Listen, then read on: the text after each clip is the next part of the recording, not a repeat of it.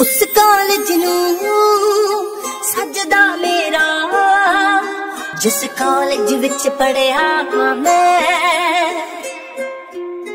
ਜਿੱਥੇ ਥੋੜੀ ਹਾਏ ਪਾਪਾ ਦੇ ਲਈ ਲੈਕਚਰਾਰ ਨਾਲ ਲੜਿਆ ਮੈਂ। ਬੀਏ ਦੇ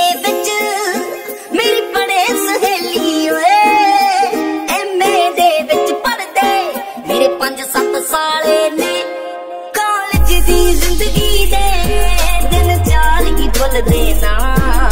ਸੁੱਖ ਨਾਲੇ ਆਪਾਂ ਤਾਂ 5 ਸਾਲ ਹੀ ਗਾਲੇ ਨੇ।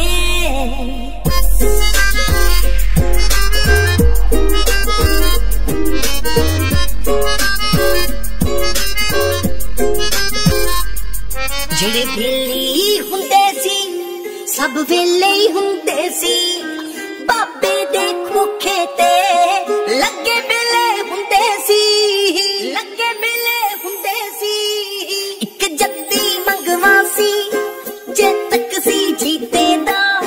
ਜਿਹਨੂੰ ਪਤਾ ਨਹੀਂ ਲੱਗਦਾ।